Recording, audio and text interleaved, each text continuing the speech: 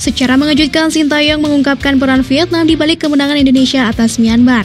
Taktik Sintayong pun mampu dijalan dengan baik oleh pasukan Garuda Muda.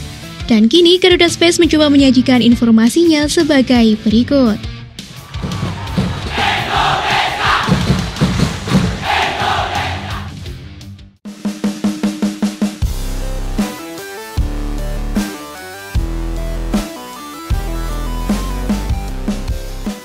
Sebelum menjalani laga penentuan Timnas Indonesia U23 dan Myanmar sama-sama mengoleksi 6 poin dari tiga pertandingan awal.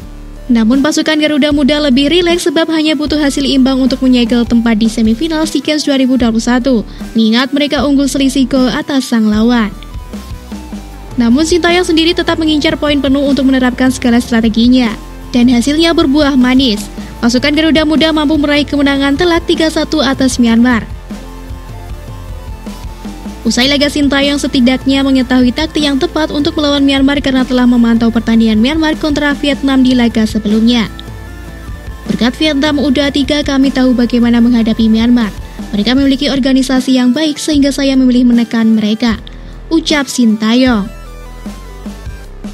Gol-gol kemenangan Timnas Indonesia U23 dicetak Egi Maulana Fikri, Witan Sulaiman, dan Marcelino Ferdinand pada babak pertama dan lebih memilih menerapkan strategi bertahan di babak kedua. Berkat kemenangan itu, Timnas Indonesia U23 lolos ke semifinal SEA Games 2021.